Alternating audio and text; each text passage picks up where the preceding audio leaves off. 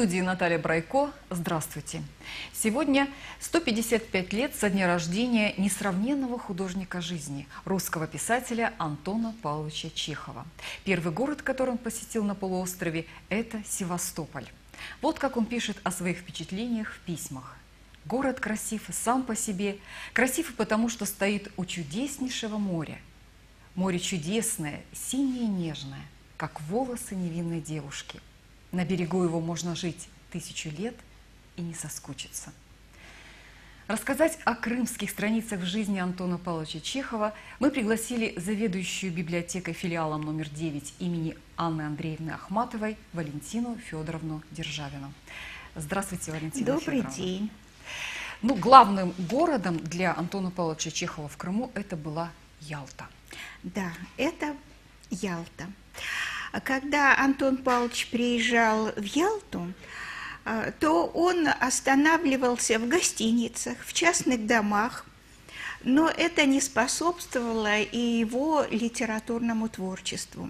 И вот он решил купить участок земли и построить свой дом – земля в Ялте была очень дорогая, и поэтому он присмотрел э, небольшой участок земли недалеко от Ялты, это деревушка Аутка.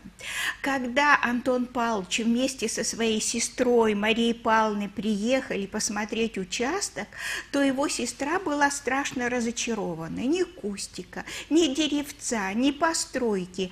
Эм, за плетнем было мусульманское кладбище, а с другой стороны пыльная дорога. Но Антон Павлович уверял свою сестру, что здесь будет красивый дом и сад. Так и случилось. Пока строили дом, Антон Павлович занялся садом. Он выписывал деревья, выписывал семена, сам сажал. Очень много у него было роз. Антон Павлович старался, чтобы был сад цветущим, весь год цветущим. Да, по принципу вечной весны. То есть одно э, растение зацветало, умирало, потом да. следующее. И вот в течение всего года был прекрасный сад. Был прекрасный сад. Дерев... некоторые деревья сохранились и до сих пор. Именно те, которые сажал Антон Павлович Чехов. Но с этого места, где стоит дом, был прекрасный вид на Ялту. И Антон Павлович говорил, что вид – это настоящий Рахат-Лукум. Ну, прежде всего, Антон Павлович Чехов, он был врачом. Да, он окончил медицинский факультет Московского государственного университета. Вот в Ялте он лечил людей? Э, Антон Павлович не практиковал как врач э, он практикой не занимался. Э, но если к нему обращались местные жители, то он непременно оказывал им помощь. И еще другой вопрос. Э, в Ялту приезжало из России много больных туберкулезом. Они не знали, к кому обратиться, где лечиться, где остановиться. И Антон Павлович многим помогал, кому деньгами, кого устраивал на лечение. Так что вот такая практика была э, у Чехова. Ну, кроме того, что он лечил людей, он прежде всего писал свои знаменитые великие произведения. И пьесы, да, пьесы для художественного театра. И э, художественный театр, это Станиславский, Немирович Данченко, приезжали и в Севастополь, и в да. Ялту, чтобы показывать уже на сцене да. постановки по пьесам угу. Чехова. Эм, это случилось в апреле 1900 года. Антон Павлович пригласил МХАТ приехать в Крым. Он писал в письме Станиславскому, вы и театр покажете, и отдохнете в Крыму. И вот в апреле месяце вся труппа МХАТа приехала в Севастополь. Э, в спектакле театр показывал в Севастополе на Приморском бульваре. Э, в те времена там находился летний театр. Это было деревянное красивое здание с башенками, лестницами, резными наличниками. Но это был летний театр – В нем не было отопления, апрель месяц, еще холодно. Антон Павлович из Ялты приезжает в Севастополь, останавливается в гостинице «Киста», непременно приходит на репетиции. Но поскольку театр был холодный, э, поговорив э, с актерами, он любил посидеть на солнышке, погреться у театра. Пьесы Чехова э, в Севастополе прошли с огромным успехом. Э, зрители тепло принимали каждый спектакль, и актеров даже выносили на руках. А затем театр отправился в Ялту. Да. Вот, кстати, э, мы все время говорим Ялта, да? В Ялте Белая дача. Это дом-музей Чехова. Я надеюсь, все э, телезрители, которые смотрят нас сегодня, посетили этот музей. И каждый год приезжают из разных точек земли люди. Кстати, иностранцев сейчас там больше. А вот в советское время там огромное количество было людей, которые приходили э, познакомиться с жизнью Чехова. И многие годы, уже около 70 лет, там работает Алла Васильевна Ханила. Это почетный гражданин города Ялты, -hmm. заслуженный деятель э, культуры Автономной Республики Крым.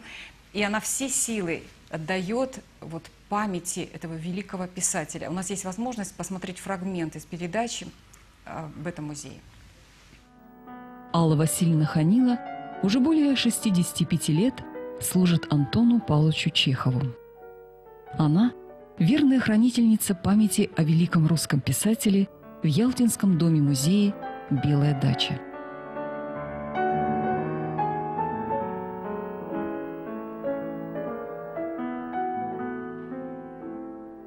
Первая комната, куда заходят гости Антон Павловича, это гостиная.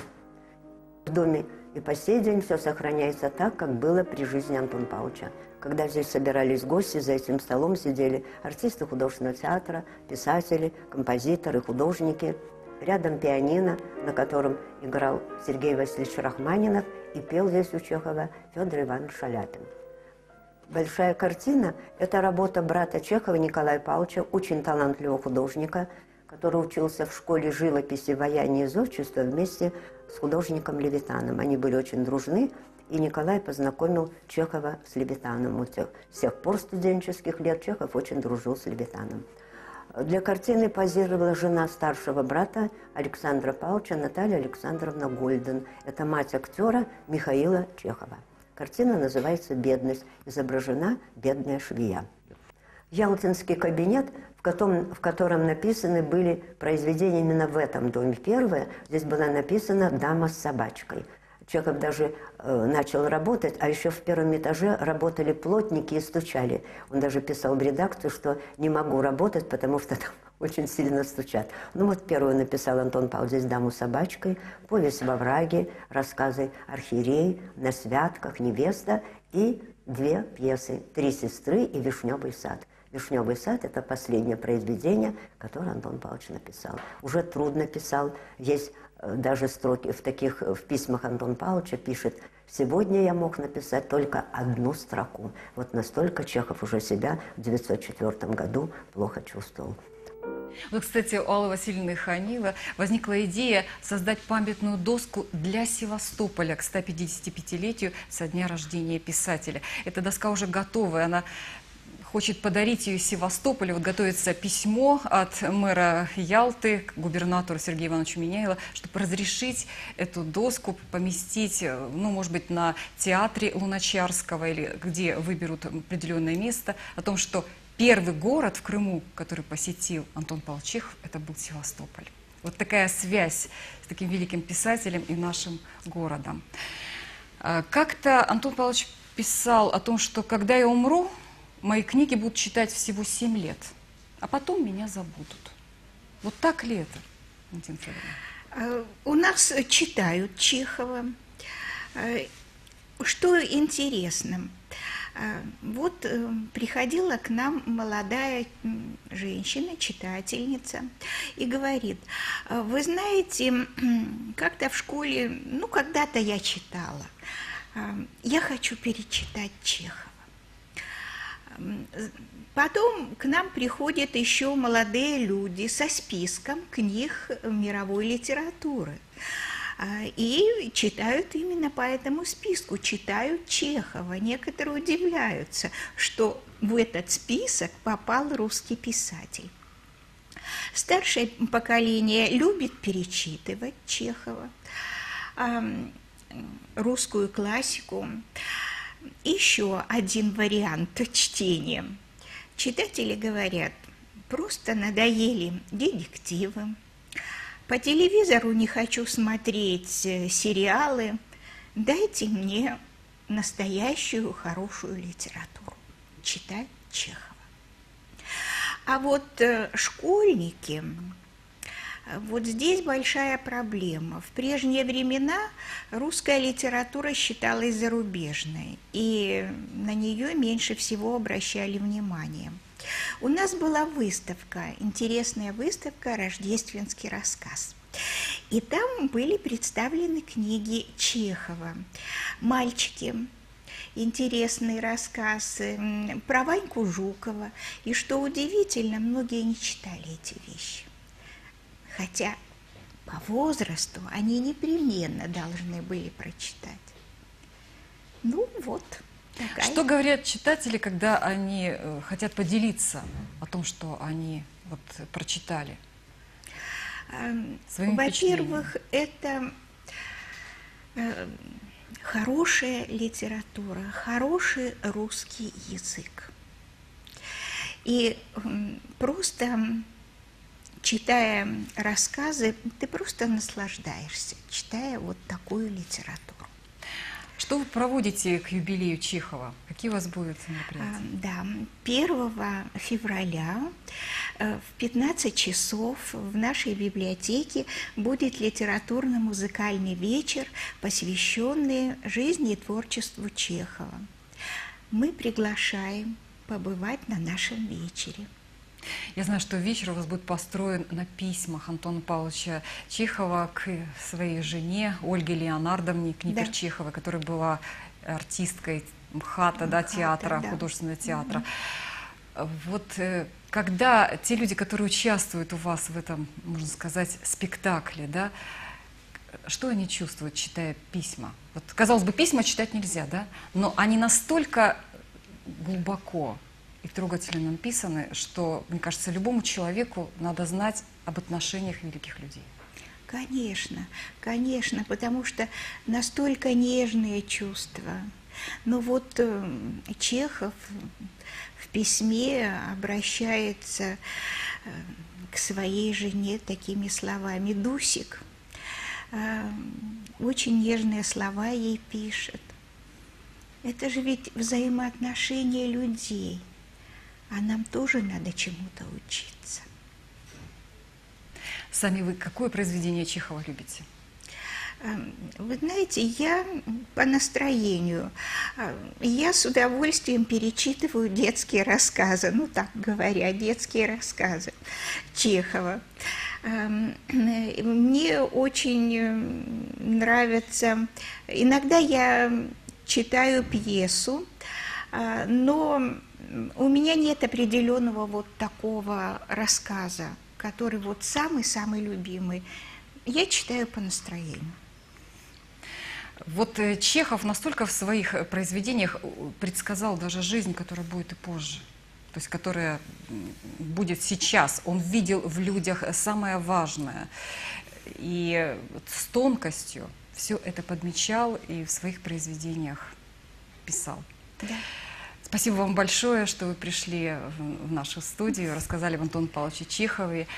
А, нашим телезрителям напоминаю, что в гостях у нас была заведующая библиотекой филиалом номер 9 имени Анны Андреевны Ахматовой Валентина Федоровна Державина. И говорили мы о юбилее великого русского писателя Антона Павловича Чехова. Как сказал Федор Михайлович Достоевский, читайте хорошие книги, а жизнь сделает все остальное.